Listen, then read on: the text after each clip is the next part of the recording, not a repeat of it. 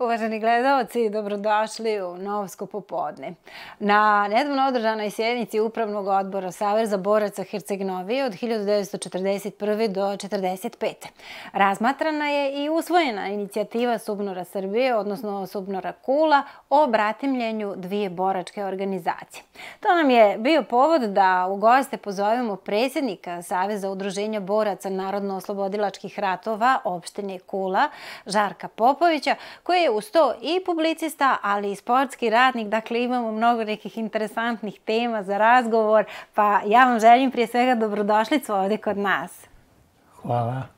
Evo, kažite mi, um, vas mnogo toga veze za Herceg-Novi, uh, pričat ćemo o tome tokom emisije, zato što ste vi donekli stanovnik našeg grada, ali evo sad za početak samo prvo da vidimo uh, kako i zašto došlo do te inicijative o bratimljenju ove dvije boračke organizacije iz Herceg-Novog i uh, iz Kole. Pa vidite, ovaj, da kažem ili nekoliko reči ovaj, kako sam uopšte ja vezan sa Herceg Novim i to je ja sam od 73. ovde povremeno stanovnik i Herceg Novoga i ovaj Kule. Tamo sam stalno stanovnik.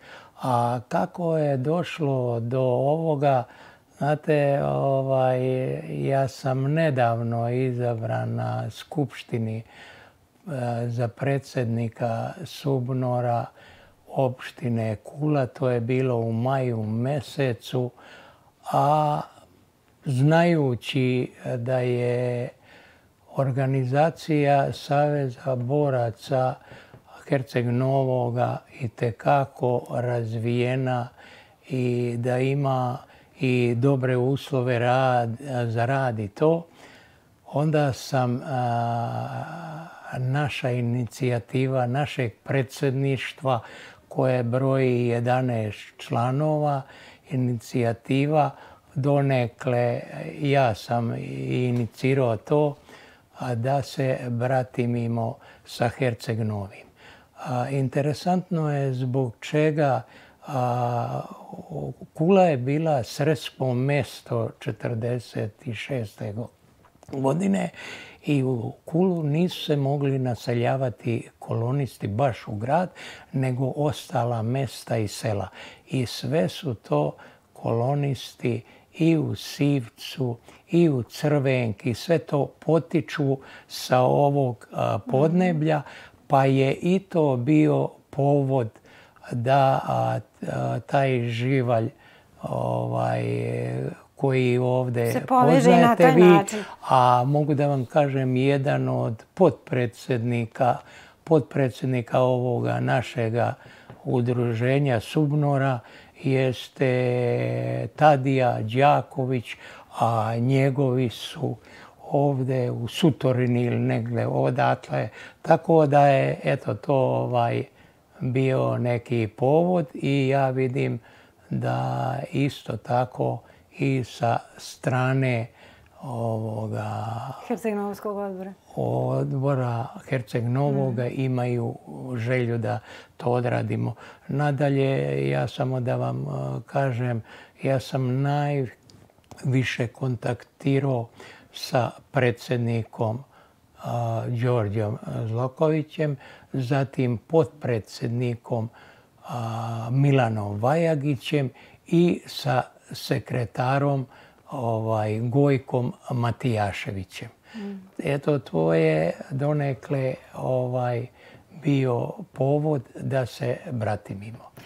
Moramo negdje da kažemo, dakle, ova hercegnovska organizacija, oni su već e, se bratimili i sa organizacijama iz Trebinja, iz Podgorice, uh, Topola, Sopot. Dakle, evo sad u tu porodicu pobratimskih organizacija stići će i Kula, bit će ratifikovan, jel tako, taj sporazum o bratimljenju uskoro. Dakle, ovo je sad samo donijeta odluka, prihvaćena inicijativa na zadovoljstvo svih, ali kako ste planirali, evo, u kom pravcu će se razvijati vaša saradnja? Evo, vidite, ovaj, predložio je odbor Subnora Herceg Novi da to bratimljenje i zvanično uradimo u Kuli, a mhm. onda sam ja predložio jedan lep datum, a to je dan kolonizacije. Mhm. Mi e, zadnja subota u novembru svake godine proslavljamo, obeležavamo dan kolonizacije.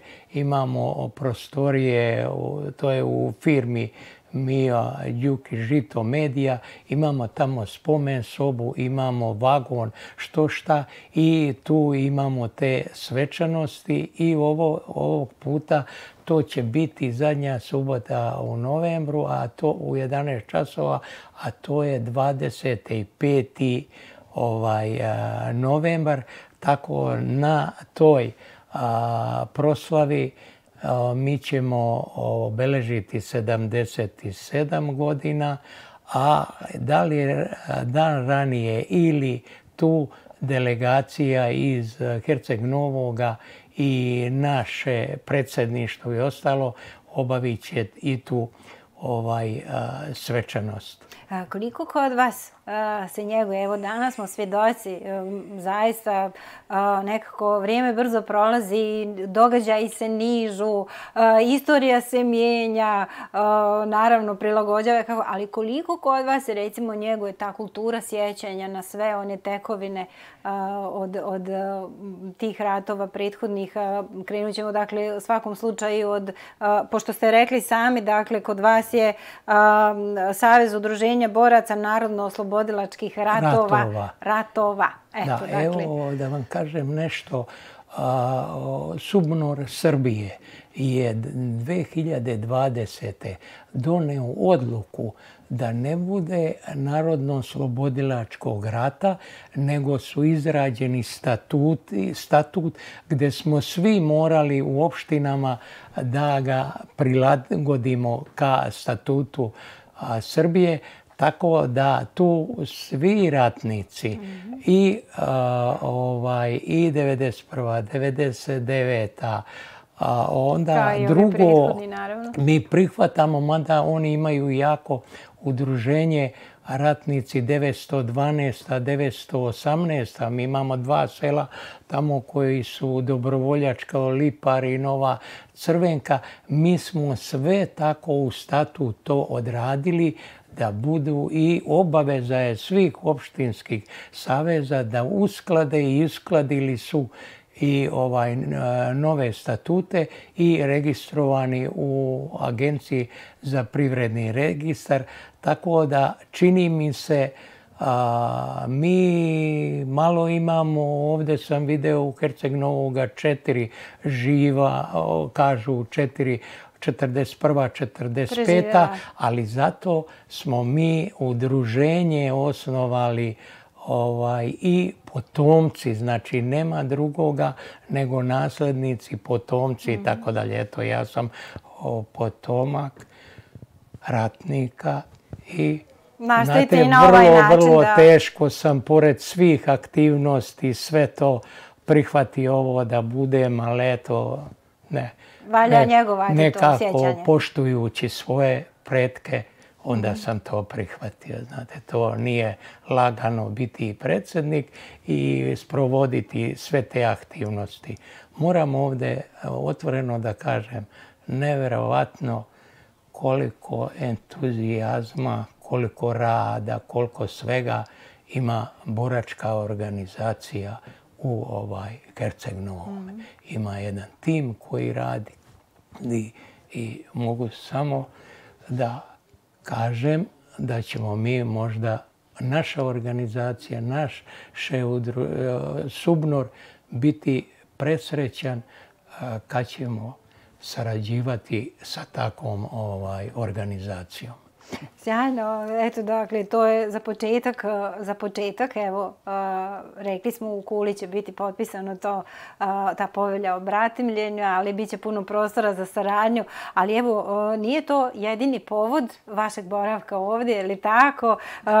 Evo, možemo da kažemo, dakle, jedan od razloga i to što je, kako ste sami rekli, nedavno je obilježena slava, krsna slava manastira Kosijerevo, a znamo da ima i tekako mnogo veze i sa sa Ratiševinom ili tako? Da, To je sve dosta ima blisko. veze sa Ratiševinom i nešto da vam kažem, ja sam rođen u tim Petrovićima, tu je svetinja manastir Kosjerevo iz 14. veka zadužbina kralja ovaj, Milutina i svake godine u zadnje vrijeme, jedno deseta godina, ja dolazim ovdje, boravim duže, ali svaki put idem na tu slavu, krsnu slavu Mala gospojina manastira Kosjerevo. Još nešto kod sadašnje proslave, ali on i potiče odatle mitropolit Joannikije, Banjanin i on je iz Velje, Velemlja ovaj, Mitovići, ali ovaj, bilo je svečano preko hiljadu je bilo ovaj, da kažem, posetilaca i tako dalje. A drugo, manastir Kozjerevo je vezan bratimljenje sa ovaj, Temišvarom Rumunijom i došao je njihov vladika, pet, šest sveštenika naših dosta, tako da je to izuzetno, izuzetno svečano. I ovaj, samo da vam nešto kažem, Ionik je spomenuo ako neko treba da upozna pravoslavlje, mora ići u Rumuniju. mm Eto, mislim, oni se, brati me Kosijerovo i to, ali ja sam se iznenadio, ja to nisam znao, da je metoh manastira Kosijerevo i vaš manastir u Rateševini. Ja sam imao prilike 17. jula ove godine kad je postavljan taj krst u Ratiševini da prisustvujem i tu. To je bilo, koliko se sećam, 17. jula. Mhm. E, Ratiševina pripada Metohu, kako oni to nazivaju, ovaj manastira Kosijerovo. Mm. Eto sve neke veze ovdje imamo, gradimo, učvršćujemo u svakom slučaju pa i kroz to. A, malo prije ste spominjali kada smo na početku ovog našeg druženja današnjeg krenuli da listamo tako te stranice, pominjali ste zapravo u stvari kolonizaciju. Ja sam na početku rekla da ste vi publicista, dakle izdali ste knjige i evo tu je pred nama, ili tako nedavno, kolonisti kroz vrijeme i prostor, ili tako? Ovu knjigu vi ste uradili zajedno sa, Miomirom Đukićem. Dakle, to je ta knjiga. Jeste. A, Mio Đukić je potomak koloniste i on ima isto živi u Herceg Novome. Sole Mio ima ovaj i firmu mhm. ovdje u, Herce, u Herceg Novome. Tako da i ja u svome pisanju sam kazao tako je lepo pisati, imate koloniste. Ja sam devet godina imao kad sam se ukrcao u Petroviće u voz bez voznog reda, a Mio je rođen 55. 6. u Kuli, ali toliko osjeća, toliko... Zavičaj, možemo tako da kažemo, predaka da njega nije bilo i plus toga financijski svašta. Ovaj, 20 godina je kod mene ta bila ideja da to stvorimo i tako dalje. I na kraju da nije bilo Mija Đukića možda ne bi bila napisana. Evo kaže, zapisi iskazivanja povodom 75 godina od dolaska kolonista iz Crne Gore u Kulu, dakle od 46. do 21. Jeste, to je prvi deo o kolonisti kroz vreme i prostor. A sada u zadnja o, štampanje nove, mhm. drugi deo, vidite ovdje stoji prvi deo, gore prvi deo. Drugi deo će biti u novembru, a promocija će biti na ovoj svečanosti 77 godina kolonizacije. Znači, mhm. i sad je samo naslov, sve ostaje isto, još dopune, samo naslov je, naslov je eto tako, kol, kolonisti, nismo vas zaboravili. Mhm. znači, to će biti u novembru promocija. Hoćete li je predstaviti i ovdje ili ovako sad u našoj emisiji danas samo? Ovaj recezent. Dobro. Sada zadovoljstvo, to, mogu da kažem, recezent je vaš čuveni, odlični no, novinar ovaj, Zdravko, Zdravko Šakotić. Znači, i kako... On će biti recenzent Jeste recenzent te druge i pomaže nam i tekako u prikupljanju raznih fotografija i tako dalje. Je li teško, danas, recite mi, danas je, pretpostavljam, nije lako doći do svih tih nekakvih podataka i tragati za putevima tih porodica, kolonista, kuda su sve, kako je sve kretalo, kuda su sve išli, gdje su se naseljavali. Znate šta? To je. To je rudarski posao i ne znam, samo onaj koji piše monografije. Daleko je, mislim, lakše, ja sam tu i konstatovao, raditi druga radna, književna dela, evo kao ja stručno ili nešto, mhm. a najteže je pisati monografije, to je rudarski, rudarski baš mhm. posao. Mhm. Doći do fotografija, podataka, nekada godinama ne može ne možete. Evo šta... Pomaže li vam evo ovo sada, danas internet? Evo sada, na primjer, to ne gledam toliko, evo mhm. sada šta je nama u drugom delu hteli smo da imamo izjave svedoka kako su nas otpratili u tu Vojvodinu.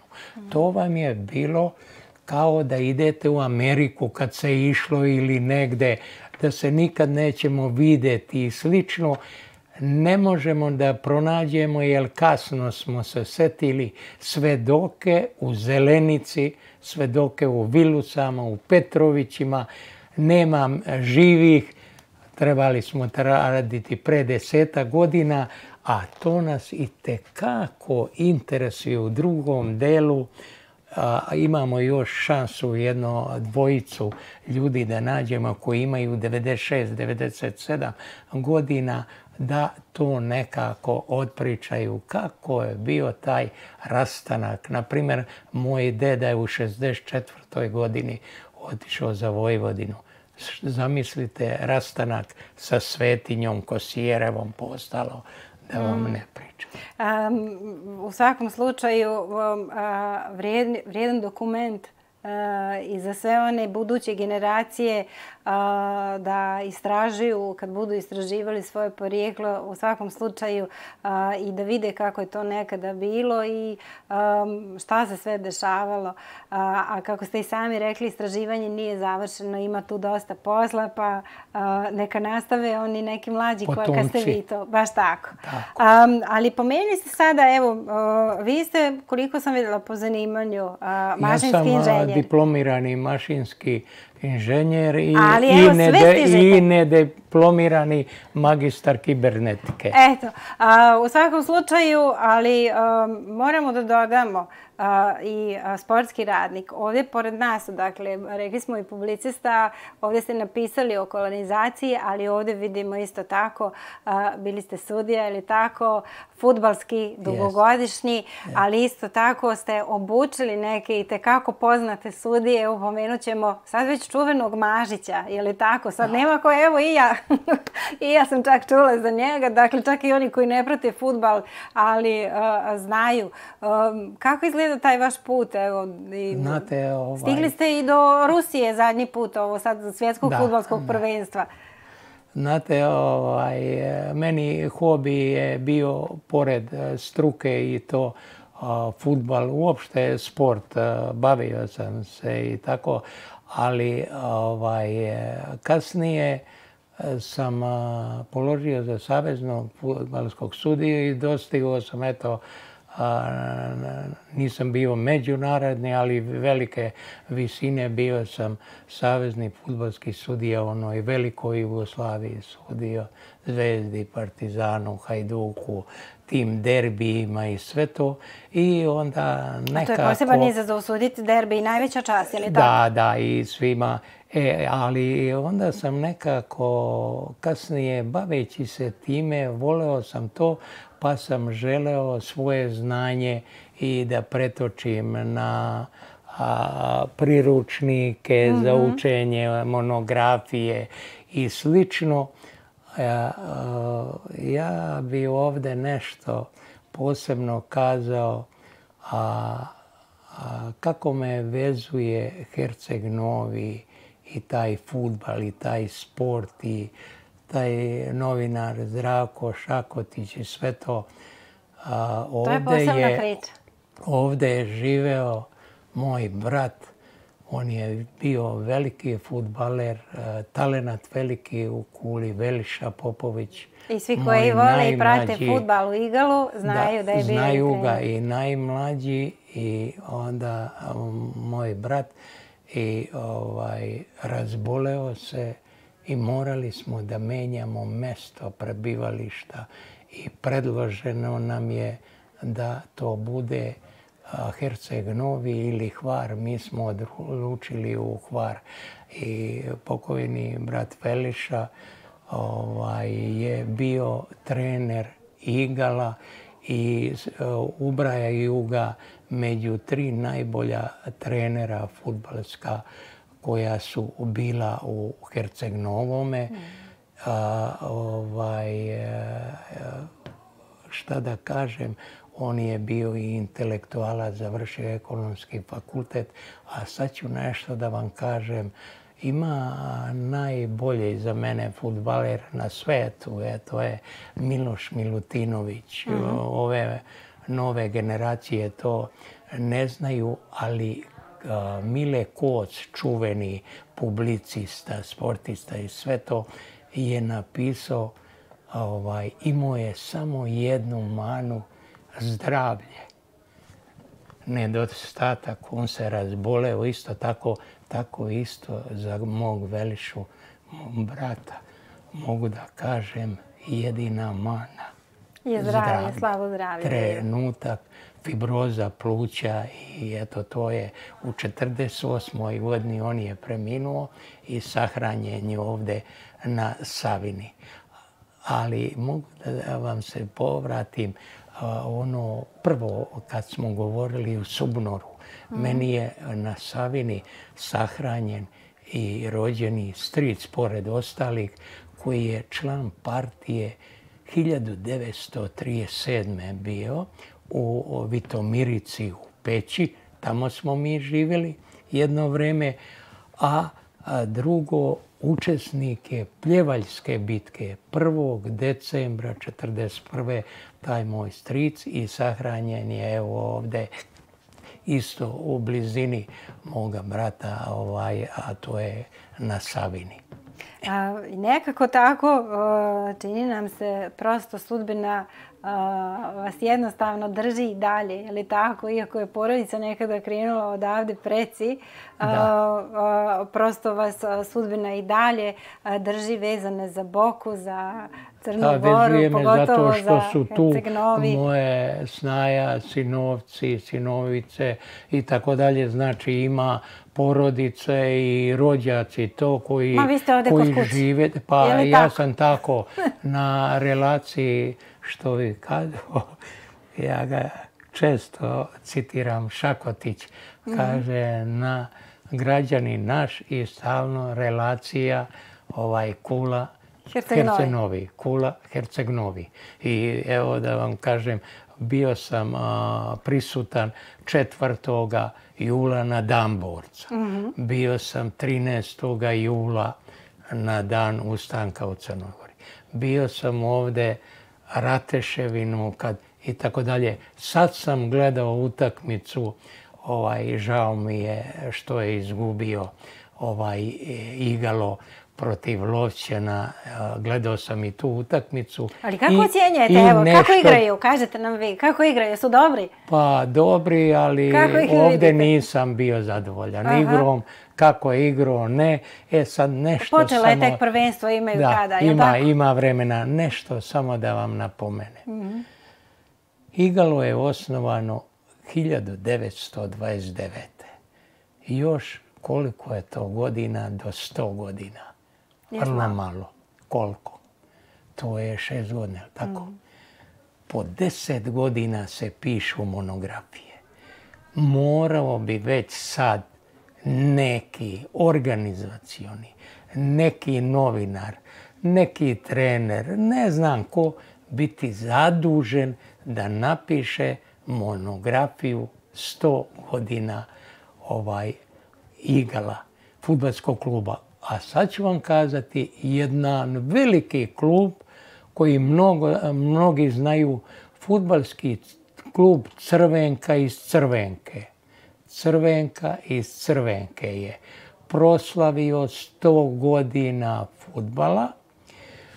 Igro je u velikoj Jugoslaviji, ali samo jedno leto, što kažu jednu godinu, jednu stranicu nema.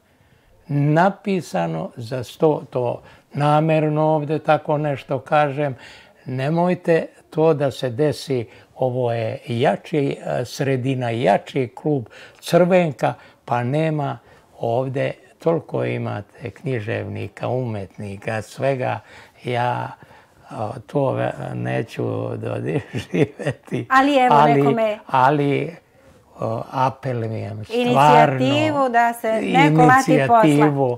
da se neko lati tog posla, to nije lako. Treba požuriti, kako ste rekli, evo je šest godina do tog vrijednog jubileja, sto godina, šest godina će proći brzo. Brzo, a ne daj Bože da se desi da nema monografije. Jeste vi na raspolaganju tako ako se neko lati posla da date da, podatke i sve? Da, ovo, ovo zato što minuli rad ima moj brat, pa ovdje, pa sve ukupno.